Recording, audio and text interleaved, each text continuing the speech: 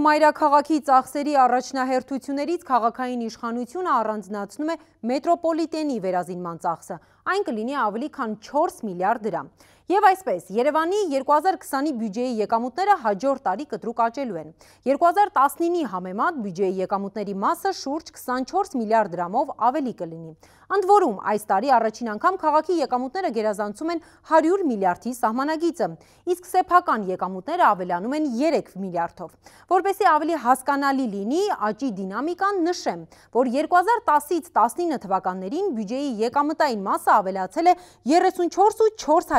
34.415 միլիարդով, իսկ միայն 2019-ից 20 թվականներին 23.920 միլիարդով։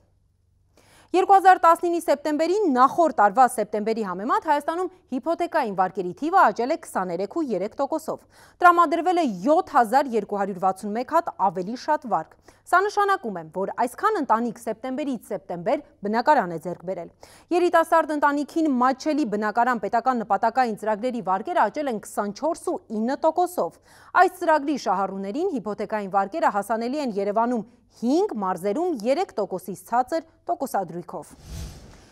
Հայաստանից արտագաղթը նվազել է 2019-ի հունվար-սեպտեմբերին սամանահատումների մուտքերի և ելքերի տարբերությունը կազմել է մինուս 9857։ Այնինչ 2016-ին, եթե այն կազմում էր մինուս 86694, 2017-ին մինուս 53912, 2018-ին մինուս 15695։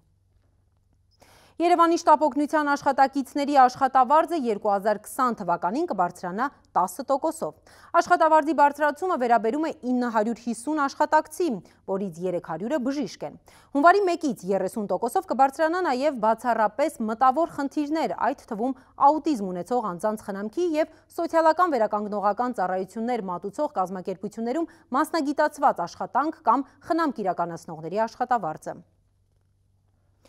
Այս տարվա երկրորդ և երորդ երամսյակների ընթացքում Հայաստանում ծնված երեխաների թիվը գերազանցել է անցած տարվա նույն ժամանակահատվածում արձանագրված ցուցանիշը։ Եթե անցած տարվա այդ ժամանակահատվածում ծնվել էր 18258 երեխա, ապա այս տարի ծնված երեխաների թիվը կազմել է 18493 կամ 235-ով ավելի։ Այս շաբաթվա թվերն այսքանն էին, բայց հիշեք, կյանքը վիճակագրություն չէ։